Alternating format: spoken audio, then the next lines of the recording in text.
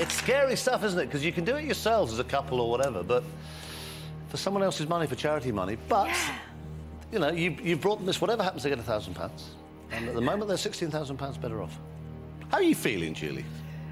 Battered. Better. I'm enjoying it. Are you? Enjoying, yeah. My best, my f- most favourite moment was parking tickets so far. But Yes. Now, serious business. This is serious. You've got £16,000. Now, this is a big old drop here. You've got a Yep. thousand guaranteed. You've got 16 at the moment. You can walk away. But question number 10 would guarantee St Andrew's Hospice £32,000. Have a look at it. Take as long as you need. It's question number 10 of a possible 15. Which of these was invented by Alfred Nobel? Tank, gunpowder, dynamite, cannon. No, I always just thought, oh, Peace Prize and all that, but no.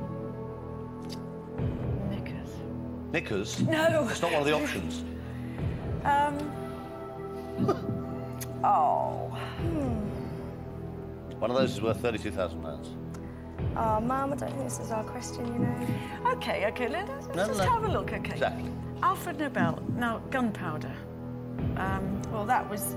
That's very Guy old. Fawkes. That's, that's obviously, yeah.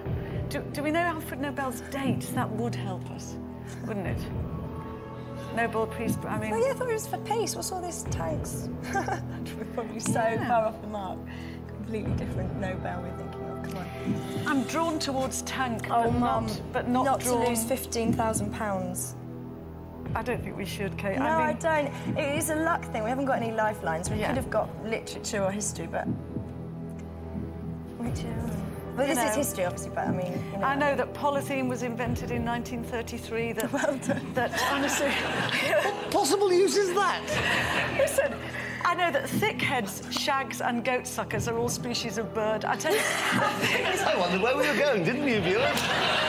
the things that I have learned in the last few days, and it's been very exciting. But sadly, none of them was about Alfred Nobel. Poor Alfred, No. I haven't got a clue. I, Oh, this is horrible. This isn't is really sad because I was really enjoying it. just getting into it. Yeah. Well, come on, time is of an essence. So, um, shall we? Which is red or alpha? No, we don't know. Don't want to risk it. We haven't got lifelines. We take the money. I think we should bow out gracefully And take the money? take the money and say we have had such a good You've been great, Oh, we've actually. had so much it's a great result. I tell you what, you, were you just think about this. St Andrew's Hospice up there in Grimsby, you're taking back £16,000 on Christmas Day. a nice Serious result. present. Bless you. Thank you very much. Just before you give them a big hand, £16,000. But just before you go, because your instincts, Julie, have been so good, haven't they? Major tax evasion. Your instincts have been spot on. You knew about polythene.